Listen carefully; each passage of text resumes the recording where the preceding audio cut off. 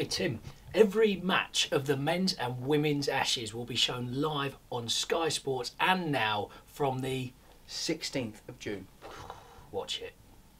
You actually forgot the date, didn't you? Completely forgot the date when the Ashes starts. Cool. So um, kicks us off. One word to describe Ben Stokes. Legend. Leader. Um, question sort of more of you, Stuart. Um, do you deliberately wind up Australians? These one word answers. Yes. No, no, no, no. you, can, you can expand a little bit on that. Uh, I'm pretty good at it. I think it's one of my one of my strengths. Um, but it's uh, I think the Ashes is it's a great circus before the series starts, and I'm I, I really enjoy that side of it. You lie awake at night thinking about it. Do you think about your lines before you say it? I don't. That's the worrying thing. Um, favourite Ashes moment? Both of you. What's your favourite Ashes moment?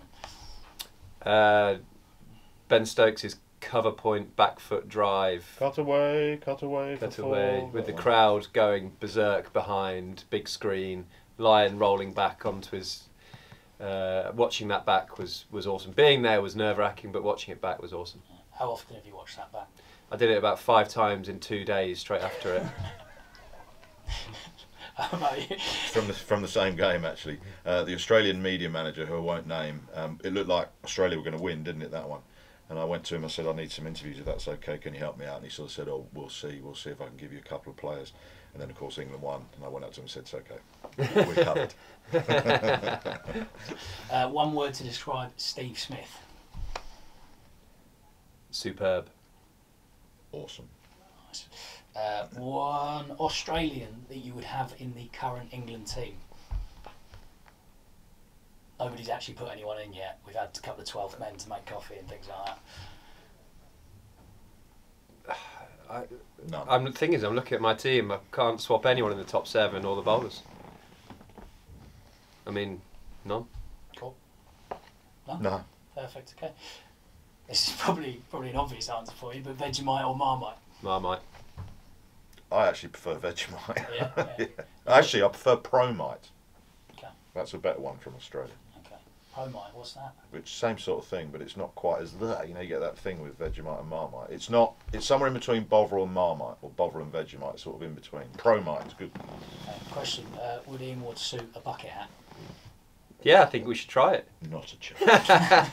you know how ridiculous. They sort of- you know how ridiculous you lot they, ju- they just well what happened is we got into the change room and they, there was like wayne bentley was walking around with a new influx of bucket hats and robbo had his sort of ray-bans on put it on looked like he was going to a festival and then said what what are the odds of you wearing that to do an interview i was like i'll wear it and then suddenly everyone started walking out for warm-up in them and stokesy wore it at the end of the game as well didn't He it was going to wear it at the presentation with Ash, but he had to nick Rooty's cap, didn't he? Yeah. And then he put it back on for the photos. so maybe start the ashes we'll have ones all branded up and we can wear them all the time there you go. Nice one. Ward, Atherton, the same. Who's won the most Ashes series? We've both won as many as each other. Perfect. Nothing. There you go. Right answer. Uh, best sledge, best Ashes sledge you've heard. Anything you could say? The only one I can think of, and I wasn't there, so I don't know if it actually happened, but Jimmy Ormond was getting stick from Mark Waugh, and Jimmy turned around and said, You can shut up, you're not even the best player in your own family. And Adam Gilchrist laughed hard. Nice i'll let you know in august All right. Good answer. Perfect. Um, so the Australian women's team are coming over. People have said this is the best side to ever play the sport. Do you agree? I think absolutely. And not just that, are they the best side ever in sport? And if not, who is the best side ever in sport? I can't answer who's the best side ever in sport, but they're the best women's cricket team I've seen, even without Meg, Meg Lanning. i think england are going to win though I'm not saying they can't win. I'm just saying, having seen the women's game over the last few years and that Yeah, Australian side, they're they're, they're, they're 10 years ahead of everyone else in terms of their structure and payment things. So people are playing catch up. I agree. It's not a foregone conclusion. Trent Bridge is a good good ground. I like for the us. fact that they're playing Yeah, I think that's a good ground for us, like to to play the Aussies on. Yeah, I agree. Um, yeah, they're they're they're the best women's team ever to have played the game, aren't they? By distance, Yeah. definitely. Who's uh, is Healy going to skip her? Is she? I think so, yeah. She's That- got, I a lot mean, on her that's plate. She's got a lot on her plate, though, she's got keep. Mm. But also, that's a, quite a big thing. Like if the captain, it's it's like someone replacing Stokesy now. Terrible time to lose. I mean, look, we wish Meg well, obviously. Mm. She's obviously taken time away for good reasons, but timing is bad, isn't it, Mm. for the team? That's right. And just to finish off, then Ash's prediction. Well, I asked Scoreline. Simon Doull and Kumar Sangakkara this the other day, and they said 3 2 to New Zealand, so that wasn't really much help. What?